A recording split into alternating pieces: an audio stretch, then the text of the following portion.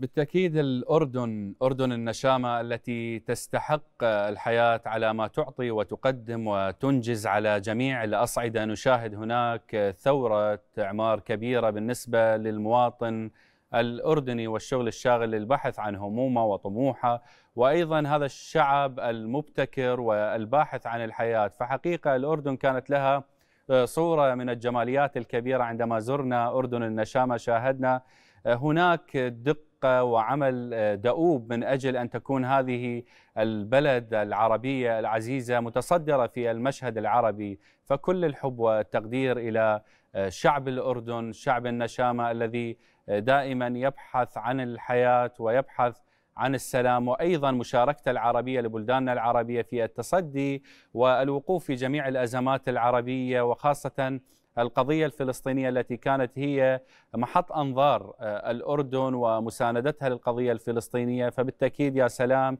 كان هذا هو المشهد المتوحد بين بلداننا العربية وأيضا ثقل الأردن بخطواتها تجاه فلسطين. نعم.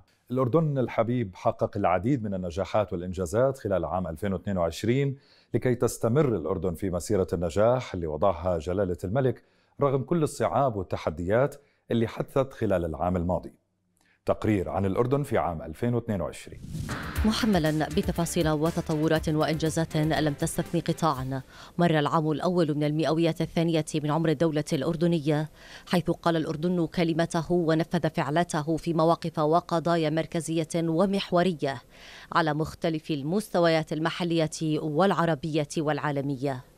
فلما ظن المهربون أن لحدود الأردن أن تجتاز وأن لدماء القوات المسلحة أن تستباح جاءهم الرد قاسيا وسريعا. فكلمات جلالة الملك جاءت واضحة وتعليماته مشددة. أعلن بها حربا بلا هوادة على المهربين. فتغيرت قواعد الاشتباك. ليمسي كل من يقترب من الحدود بطريقة غير مشروعة مشروعا للقتل والتدمير. فدم الأردني كما حدوده مقدسة. ولأن الإصلاح منهج ارتضاه وأسسه جلالة الملك مذ حمل الراية الهاشمية وتتمة لشطر الإصلاحات الجديدة التي أوصت بها اللجنة الملكية لتحديث المنظومة السياسية جاءت تعديلات دستورية ترسيخا لمبدأ سيادة القانون وتكريسا لمبدأ الفصل بين السلطات وتعزيزا لاستقلالية العمل البرلماني. وبعد تأجيل واستكمال إدخال تعديلات مفصلية على قانون الإدارة المحلية كان الاستحقاق الدستوري حيث توجه الأردنيون لصناديق الاقتراع في الثاني والعشرين من آذار لاختيار ممثلهم في مجالس البلديات واللامركزية في طقوس كرست مفاهيم الديمقراطية التي زامنت الدولة منذ التأسيس. ولأن القضية الفلسطينية حاضرة وتعتلي سلم الأولويات الأردنية انطلاقا من جملة ثوابت غير قابلة للتغيير ووصاية هاشمية على المقدسات الإسلامية والمسيحية وبعد اشتداد الانتهاكات الإسرائيلية في المسجد الأقصى تداعت اللجنة الوزارية العربية لتلبية دعوة لاجتماع طارئ دعت له عمان في نيسان. مواجهة هذه الادعاءات ورافضة تلك المساعي الاحتلالية الدولية لتغيير وضع قانوني وتاريخي ثابت ومتأصل في الأقصى. وحين يعلن جلالة الملك أن الإرادة هي مستقبل عنوانه التميز وجوهره الإبداع. منفتح على التغيير والتطوير يستوعب الأفكار الجديدة ويحتضن التنوع. كان إطلاق الرؤية الاقتصادية في حزيران رؤية تمتد لعقد من الزمن وتنفذ عبر مراحل ثلاث. تتضمن مبادرات تتجاوز بعددها الثلاثمائة في قطاعات تتصدرها الزراعة والتكنولوجيا ولا تغيب عنها الطاقة المتجددة. ولأن إصلاح القطاع العام جزء متمم لشطر الإصلاحات. كان إطلاق خارطة الطريق لتحديث القطاع العام التي مثلت باكورتها سبع مكونات أساسية. مثلت الأولوية القصوى وهي الخدمات الحكومية والإجراءات والهيكل التنظيمي والحوكمة ورسم السياسة وصنع القرار والموارد البشرية والتشريعات والثقافة المؤسسية. وكان الإطلاق رسميا لها مطلع شهر آب. وفي ليلة غدر تسللت يد غاشمة عابثة لتردي العميد عبد الرزاق الدلبيح شهيدا ورفاق سلاح آخرين جرحى في محافظة معان.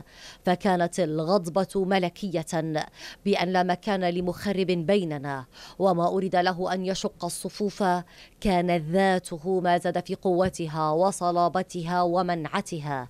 فتوحدت وصدحت الحناجر بأن للوطن العزة والرفعة وأن لا مكان للمخربين ولا التكفيرين بيننا. وسريعا قال رجال الأمن العام كلماتهم الصادقة ونفذوا وعدهم العادل لتقودهم هذه الأدلة وتلك البراهين لخلية تكفيرية ضالة مضللة. ارتضت أن تمتد يدها الغاشمة فتسيل دم الأردنيين. مداهمة صباحية للأشاوس أردت مشتبها به واعتقلت تسعة آخرين. أعلنت أن لهذا الوطن رجال حملوا أرواحهم على أكفهم. رجال صدقوا ما عاهدوا الله. رجال يهللون بالشهادة. فزفت الأردن ثلاثة شهداء آخرين. ولم يكن لعام 2022 أن يسدل ستارته راحلا قبل أن يحمل موقفا أردنيا كما العادة. يلبي نداء العروبة حيثما صدح. فالأردن استضاف مؤتمر بغداد للتعاون والشراكة الذي شهد مشاركة 12 دولة ومنظمات عربية وإسلامية وعالمية. خلصت إلى التأكيد على وحدة واستقرار العراق ومكافحة الإرهاب. هكذا هو الأردن.